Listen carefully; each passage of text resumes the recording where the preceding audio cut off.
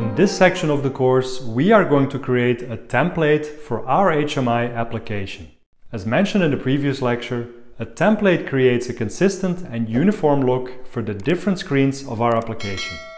Future lines and machines will get more and more complex and it will be a particularly important part of the HMI application builder to break down that increased complexity of systems in such a way that humans can easily learn how to use them. A well-defined template plays a very important role in reducing the complexity of the machine. So with all this talks about templates, you might wonder, what does a template actually look like? A template typically consists of three main areas. The screen navigation area is used to navigate through the different main screens of the application. The information area, or the information bar, because it's typically shaped as a bar, displays valuable information that you would like to have displayed on every screen of your application, like for example the date and time, the actual recipe running on the line, or the current user that is logged on to the system. The final area of the template is the actual screen content area. This content is screen dependent and all of this will get much more clear in the next lectures. Now HMI panels nowadays have typically two aspect ratios.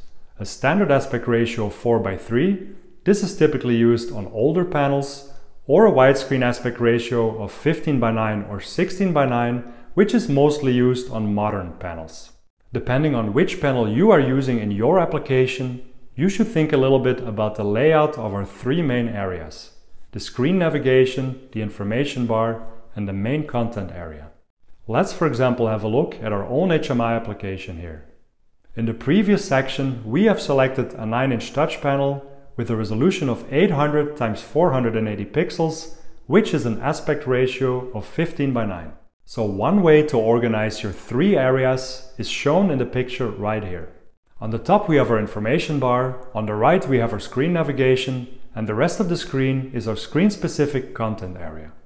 If you for example have many buttons in your screen navigation area, then it might make more sense to put your screen navigation at the bottom of the screen. Important here when designing the layout of your template is the shape of your screen-specific content area. When you are thinking about your screen layout, try to keep the aspect ratio of your main content area about the same as the aspect ratio of the panel. You don't want to stretch out your main content area too much horizontally or vertically. In this picture right here, our main content area is a rectangle with about the same aspect ratio as the panel itself.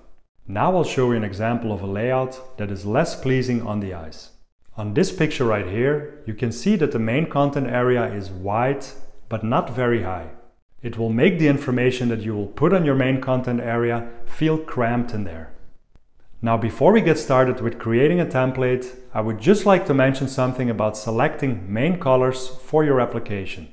My advice to you is to select a maximum of 2 to 3 main colors for your application. Don't go nuts with using different colors everywhere in your application blue here, brown there, pink here. It will make your application look like a rainbow and it won't impress anyone. Modern applications only use a couple of main colors throughout all the screens of the application. You will need at least one light color and one dark color to create contrast. Contrast, for example between a text and its background, is very important because it makes the HMI calm and easy on the eyes. A third color can be chosen for some accents and variation. For our application, I have chosen three main colors. I would recommend to write them down somewhere because we will use them quite a lot while building our application. For the light color I have chosen light gray and for the dark color dark blue. The third color that I've chosen for some variation is a dark gray color. That brings us to the end of this lecture. We have talked about the layout of a template and how to select colors for a modern look. In our next lecture, we are going to start creating our template. So roll up your sleeves, guys, and here we go.